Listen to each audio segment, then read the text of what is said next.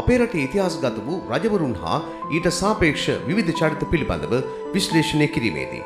අන්දරේ ජනකිවිදුන්ගේ චරිතය මේ විශ්වය පවතින තුරා අපට අමතක වන්නේ නැහැ. ක්‍රිස්තුවර්ෂ දහ අටවන සිවසේදී රුහුණේ දික්වැල්ලේදී උපත ලැබූ අන්දරේ සිය ළමා කාලයේ සිටම සිය ජන්මයෙන් උරුම වූ කවටකම නිසා ගමේ කැපී පෙරුණා. ඔහු සිප්ස අතර හැදෑරුවේ ක්‍රිස්තියානි දේවස්ථානයේ. ක්‍රිස්වර්ෂ එක්දාසත්සය අසු එක සහ එක්දාසත්සය අනුවට කාලයේදී. සෙංකඩගල රජවාසනේ කවටය රාජකාරය ඔහුට පැවරුණා. එහිදී රාජාදී රාජසිංහ රජ විසින් සද්ද විද්ද පළගපතිර රාජපක්ෂ වික්‍රමසිංහ මුතුකුමාරණ යන ගරු නම්බුනාබෙන් අන්දරේ කිවිදුන් උපහාර ලැබුවා.